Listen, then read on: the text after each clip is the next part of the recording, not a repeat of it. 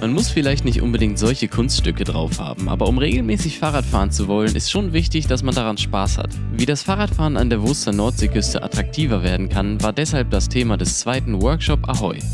Dieses Mal vor dem Rathaus in Dorum. Vernetzung und Mobilität vor Ort waren zwei wichtige Themen, die bei vergangenen Veranstaltungen von Zukunft Ahoy geäußert wurden.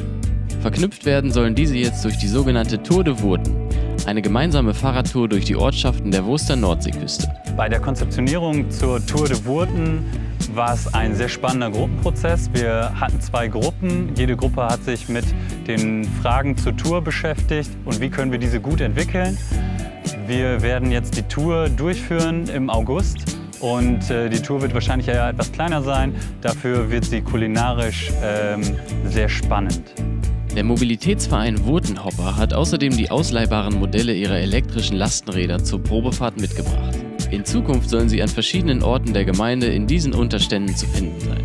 Jonas Hummel vom Werk e.V. hat außerdem ein neues E-Lastenrad vorgestellt, das aus modularen Bauteilen besteht und von ihm unter Anleitung selbst gebaut wurde.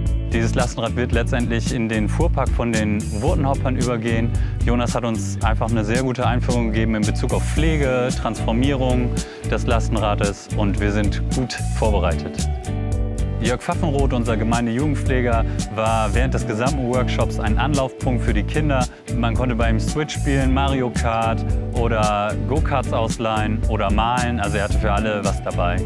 Außerdem war Arne von der Pizzamanufaktur dabei hier in Dorum. Man hat für uns Pizza gebacken. Zudem war noch Wood and Metal dabei. Die haben Musik gemacht für uns. Und das auch während der Kunstradshow des Dorumer Turn- und Sportvereins. Die haben mit ihrem Auftritt nochmal unterstrichen, dass Radfahren nicht einfach nur ein Mittel zum Zweck sein muss. Und bei der demnächst stattfindenden Tour de Wurten können das alle Teilnehmenden auch nochmal selbst erleben.